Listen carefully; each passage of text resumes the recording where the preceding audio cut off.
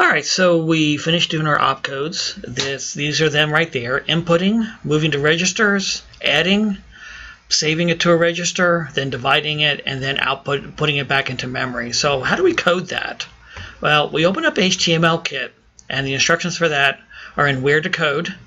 And once you have opened it up, we click on Objects, and then we click on JavaScript, and now we have our JavaScript. So you can see over here that we have three places in memory that we have to store information uh, into and a place in memory that we have to put the result in. So we use the keyword var to let the um, interpreter know that we want to create places in memory. And we have M1, M2, M3, and M4. And then we end that with a semicolon. All right, so the next thing it wants us to do over here, whoops, is ah, dang, is to put 6 into M1. So I have a place in memory called M1.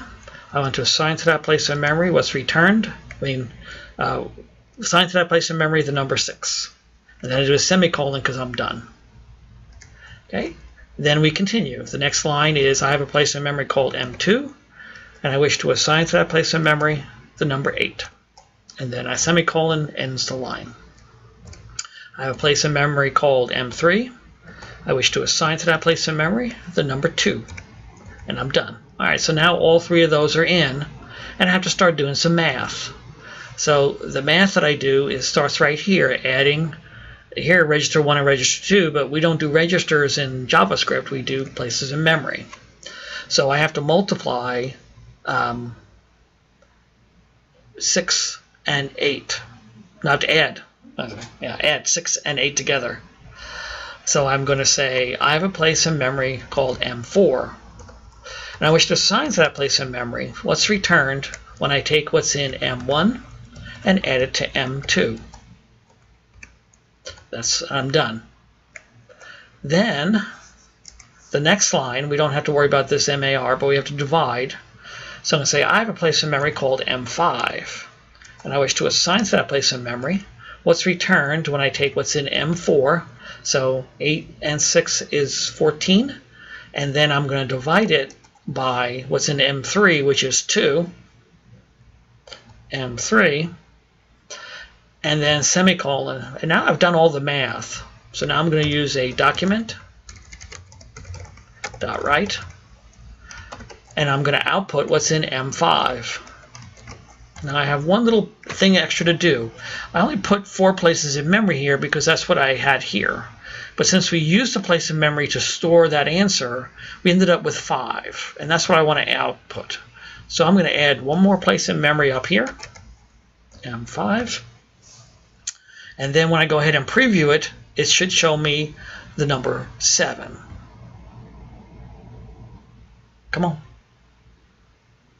preview number seven. There you go. So number seven.